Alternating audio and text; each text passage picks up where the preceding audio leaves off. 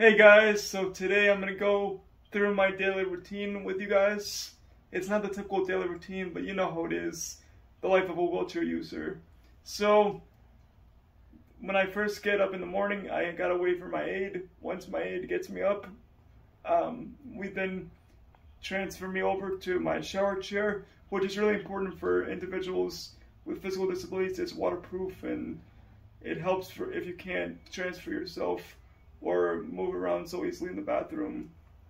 So he rolls me over on the toilet, toilet, and then after that he rolls me into the shower, and after that he gets me into my room, puts me on the bed, dries me up, do a little range of motion, puts me in my chair, and then I'm ready to start my day for work.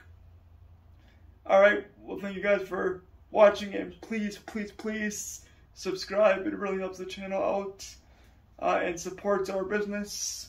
And don't forget to like, share, comment, and subscribe. And thank you for watching and have a great one.